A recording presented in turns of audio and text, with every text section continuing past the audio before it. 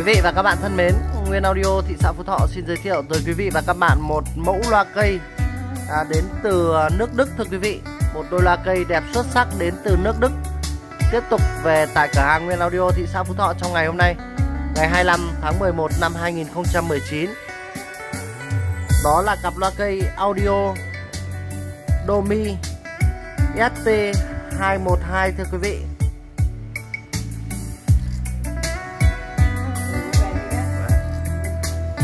một đôi loa cây với cấu hình rất là sang trọng. Nó sở hữu 3 đường tiếng trên một thân thùng 3 đường tiếng 4 loa. Nó sở hữu hai loa bát điện 18 cm màng carbon, gân cao su, thưa quý vị, và một loa chung và một loa chép đôm.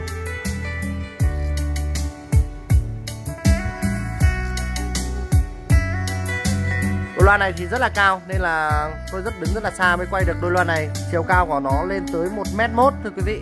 1m1, chiều rộng 21 và chiều sâu 35 cm. Thùng của đôi loa này thì được thiết kế là thùng gỗ thịt quý vị nhá. Thùng gỗ thịt màu vàng vân gỗ rất là sang trọng đằng trước nó bom bê vát đằng trước này. Màu vàng rất là sang trọng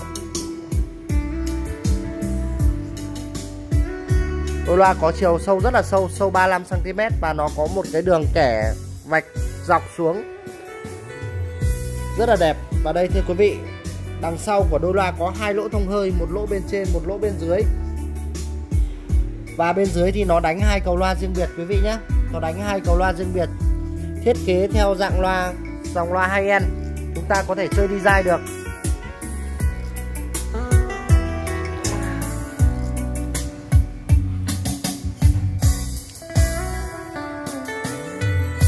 Dòng loa này thì à, nó rất ít về Việt Nam chúng ta. Dòng loa Đức thì không có về Việt Nam nhiều. Nên là nó rất là hiếm.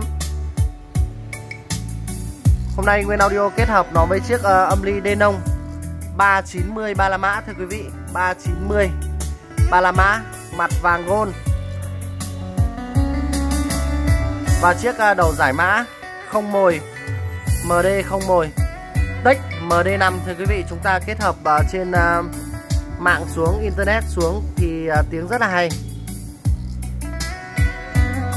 Cái loa này thì về vẫn còn nguyên chân quý vị nhé đây là còn nguyên chân loa này và còn nguyên tem ở đằng trước. Dòng loa này thì tiếng rất là hay, tiếng bass rất là sâu và mềm, bởi vì nó sở hữu hai loa bass. Hai loa bass thì nó đánh rất là hay. Loa này à, chúng ta để với những à, phòng khách, trang trí phòng khách nhà chúng ta thì rất là đẹp. Với những không gian, ví dụ như là nhà chúng ta là nhà ống thì để hai bên hai bên cầu thang nhìn rất là sang trọng.